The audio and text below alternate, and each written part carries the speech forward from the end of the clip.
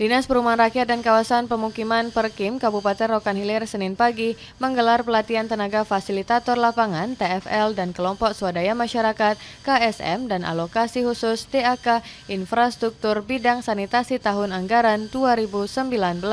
Acara tersebut dipusatkan di Hotel Mahera, Jalan Utama Bagan Siapi-Api yang dibuka secara resmi oleh Sekretaris Daerah Rohil Surya Arfan dan dihadiri Sekretaris Perkim Budi Mulya dan perwakilan Kementerian PUPR, Kim Yar, dan Kasih Intelijen Kejari Rohil Farhan Junaidi.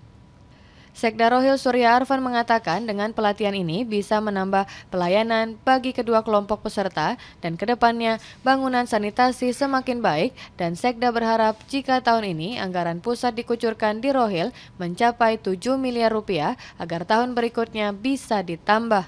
Sanitasi bagi eh, tenaga fasilitator dan bagi kelompok swadaya masyarakat.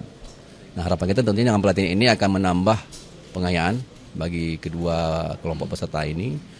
Yang ke depan tentunya kita akan mengharapkan semakin baik kualitas daripada bangunan itu dan pada giliran lain menyadarkan masyarakat bahwa sanitasi itu merupakan satu hal yang yang prioritas dalam dalam siklus kehidupan yang selama ini masyarakat masih menganggap bahwa sanitasi atau WC atau MCK itu hal yang sekian yang sekian kebutuhannya.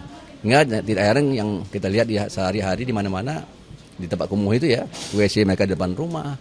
Kanan belakang rumah pun tidak tidak tertata dengan baik.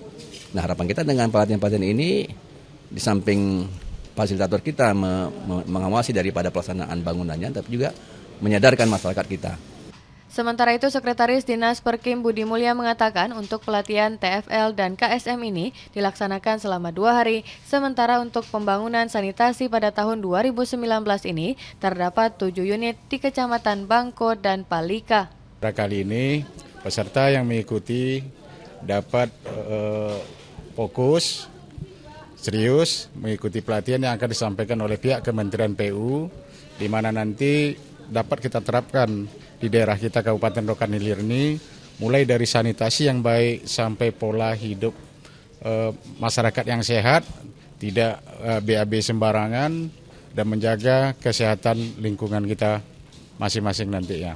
Jadi kita berharap e, program ini akan dapat berlanjut dan di tahun mendatang daerah-daerah yang seperti daerah-daerah kumuh akan dapat kita tanggulangi dengan baik.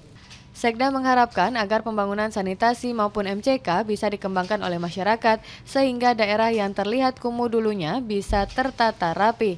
Dari Bagan Siapi Api Rokan Hilir, Julius melaporkan.